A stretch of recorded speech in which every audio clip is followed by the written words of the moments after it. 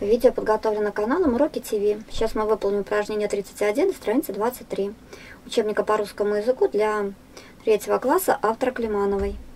Прочитайте текст Паустовского. Текст называется «Заяц». В августе дед пришел охотиться на берег озера. Леса стояли сухие, как порох. Дед вдруг почувствовал запах гари.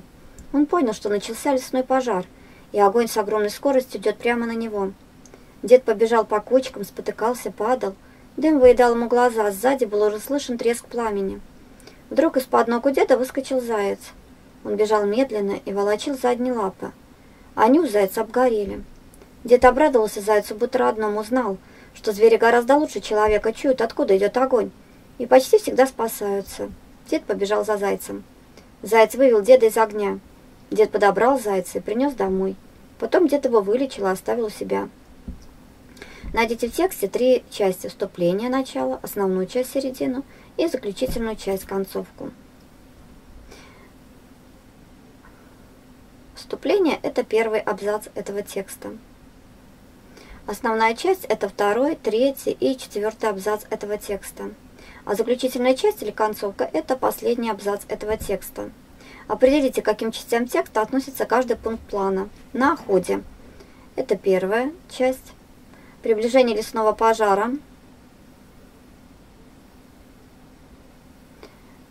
Начинается со слов «Дед вдруг почувствовал запах гари». Встреча с зайцем. Вдруг из-под ног у деда выскочил заяц. Здесь начинается эта часть. И спасение. Заяц вывел деда из огня. Обратите внимание, что первый пункт плана отражает содержание вступления, последнее содержание заключительной части – а в чем цель пункта 2 или 3? Цель пунктов 2 и 3 состоит в том, чтобы рассказать о тех событиях, которые происходили во время пожара в лесу. Как вы думаете, почему обычно основная часть текста больше по объему, чем вступление и заключительная часть? Потому что именно в этой части рассказываются об основных событиях текста. Перескажите текст по плану. Спешите заключительную часть текста. Однородные члены предложения подчеркните. Итак, заключительная часть текста – Заяц вывел деда из огня. Дед подобрал зайца, принес домой. Потом дед его вылечил, оставил себя.